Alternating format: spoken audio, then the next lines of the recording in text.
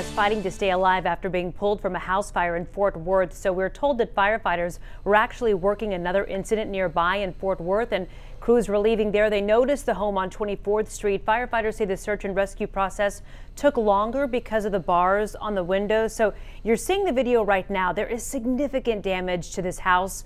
We know the man is in critical condition and his dog did not survive.